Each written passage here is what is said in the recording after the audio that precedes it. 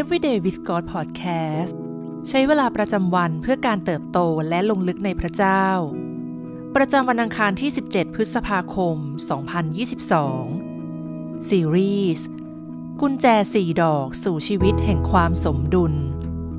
กุญแจดอกที่สองหยุดพัก โดยทั่วไปแล้ว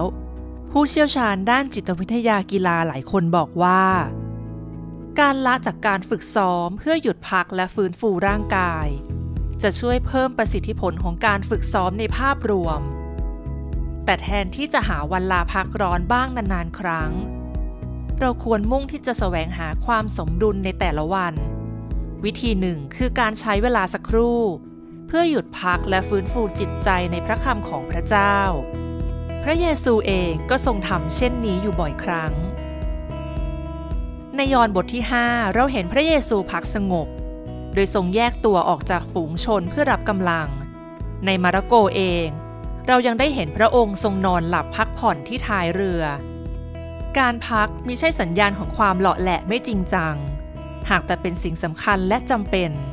เราจะยิ่งมีประสิทธิภาพและทำงานได้เต็มกำลังมากขึ้น เมื่อได้พักผ่อนอย่างเต็มที่ และในทางกลับกัน เรากลับยิ่งขาดประสิทธิภาพและไร้กำลังในการดำเนินชีวิต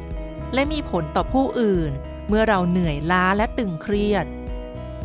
เราจึงควรนอนหลับพักผ่อนให้เต็มที่ในทุกคืน ไม่ว่าอะไรจะเกิดขึ้นระหว่างวันก็ตาม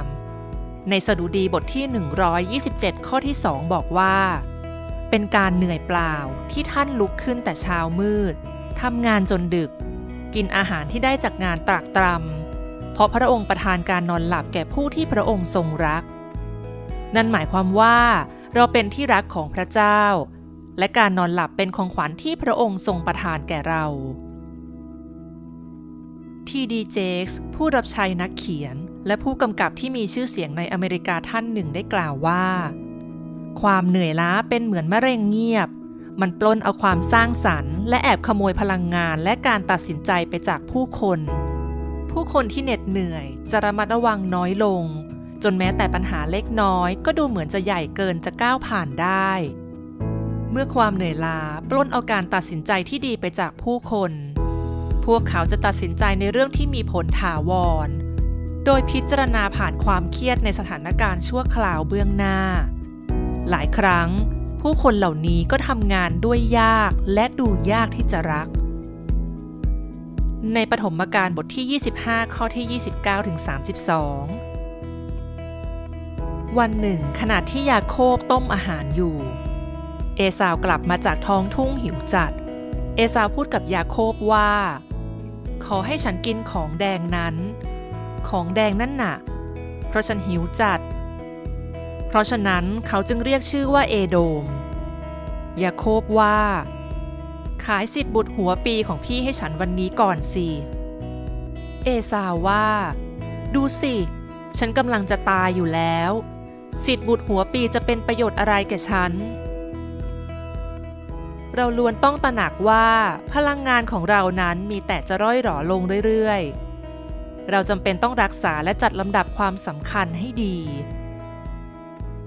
บิลไฮเบลส์ศิษยาภิบาลคริสตจักรวิลโลว์ครีก ที่ชิคาโกสหรัฐอเมริกากล่าวว่า ผู้คนที่ร่างกายอ่อนล้าไม่เพียงแต่จะขาดพลังงาน พวกเขายังมักหงุดหงิดง่าย ชอบวิจารณ์ แก้ตัว และคิดแง่ลบเสมอ เป็นเรื่องยากที่เขาจะรักผู้อื่น และเป็นเรื่องยากพอๆกันที่ผู้อื่นจะรักเขาดรโนโวเฮสผู้รับใช้และสิทธยาพิบาลผู้ล่วงลับ ได้เคยช่วยเหลือผู้คนมากมายออกจากภาวะซึมเศร้า และความคิดแง่ลบ ผ่านการให้พวกเขาได้หยุดและพัก เฮสกล่าวว่า ผู้คนที่เหน็ดเหนื่อยมักนำตัวเองไปสู่ปัญหา แต่ผู้ที่ได้หยุดพัก จะนำตนเองไปพบคำตอบ อย่ารอให้ถึงวันพรุ่งนี้ แล้วจึงค่อยพักผ่อนและนอนหลับ แต่จงเข้านอนตรงเวลา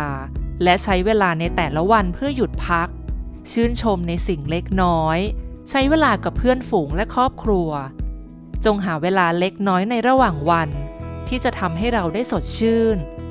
เพราะนั่นคือช่วงเวลาที่คุ้มค่ายิ่งในระยะยาว ในสดุดีบทที่ 116 ข้อที่ 7 จิตใจของข้าเอ๋ย กลับไปสู่ที่พักของเจ้าเถิด เพราะพระยาเวทรงดีต่อเจ้าแล้ว สิ่งที่ต้องใคร่ควรในวันนี้ ระหว่างสัปดาห์ที่ผ่านมามีช่วงใดที่เรารู้สึกว่าพักผ่อนไม่เพียงพอหรือไม่ อะไรคือสาเหตุนั้น และมีสิ่งอื่นใดที่เราให้ความสำคัญมากกว่าการพักผ่อนหรือไม่ ให้เราอธิษฐานด้วยกันนะคะ พระบิดาที่รัก เราขอบคุณพระองค์ที่เป็นแบบอย่างในการหยุดพัก และทรงประทานการพัก ผ่อนที่เราต้องการ เราขอโทษที่หลายครั้ง เราละเลยและไม่เห็นคุณค่าของการพักผ่อน